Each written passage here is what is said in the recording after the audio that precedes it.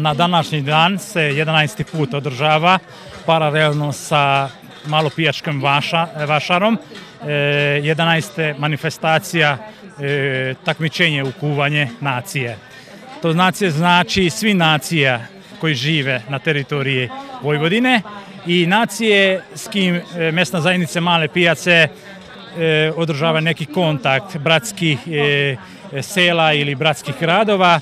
Tu imamo goste iz Slovačke, iz Rumunije, iz Hrvatske, e, iz, e, iz e, čak iz Mađarske, iz više, više opština, tako da stvarno je međunarodni karakter i stvarno je toliko šareno sve da sad iza nas vidimo manifestaciju što smo isto e, u okviru manifestacije naše konkurisali kod pokrajine da prikažemo sva blaga što mi imamo u Vojvodini i sad naša deca e, prikazuje e, folklorne e, umeće svih nacional, na, nacionalnosti na teritorije Vojvodine. Znači tu imamo Srbe, Mađare, Slovake, Rusine, Rume, tako da ne nabravljam sve nacionalnosti koji nas, danas nastupaju i predaju sva ta blaga što, i, što krasi Vojvodinu kao e, jednu, jednu e,